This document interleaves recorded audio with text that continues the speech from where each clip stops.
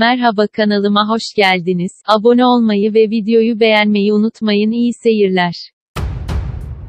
Heyecanla beklenen Dünya Kupası 2018 Rusya'nın ev sahipliğiyle 14 Haziran Perşembe günü başladı. 22 Haziran Cuma gününün son maçı, E grubunun dördüncü maçı olan Sırbistan-İsviçre maçı olacak ve Dünya Kupası'nın 8. günü oynanacak. İki takımın analizlerine geçelim. Sırbistan takımı ise Dünya Kupası 2018'e katılmak için 10 eleme maçı yaptı. Bir yenilgi 3 beraberlik ve 6 galibiyet alarak turnuva turnuvalara katılmaya hak kazandı. Hücumda yan toplardan atılan hava toplarıyla, uzun boylu oyuncuları sayesinde, rahatlıkla gol bulabiliyorlar. Fakat aynı şeyi defans için söylemek zor. Defansta geriye koşmakta zorlanan ekip, defansta çok ağır kalıyor. Sırbistan ekibinin gruptan çıkma ihtimali var.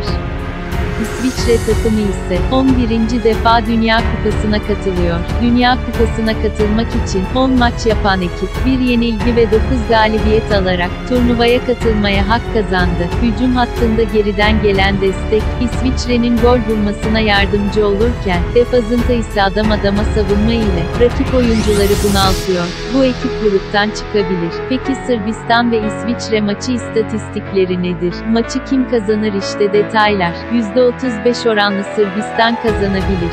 %34 oran ile de İsviçre maçı alabilir. Maçın berabere kalma olasılığı ise 31. Muhteşem bir futbol şöleni bizi bekliyor olacak. Turnuva analizleri devam edecektir. Bizi izlediğiniz için teşekkür eder. Videoyu beğenmeyi ve kanalımıza abone olmayı unutmayın. Hoşçakalın.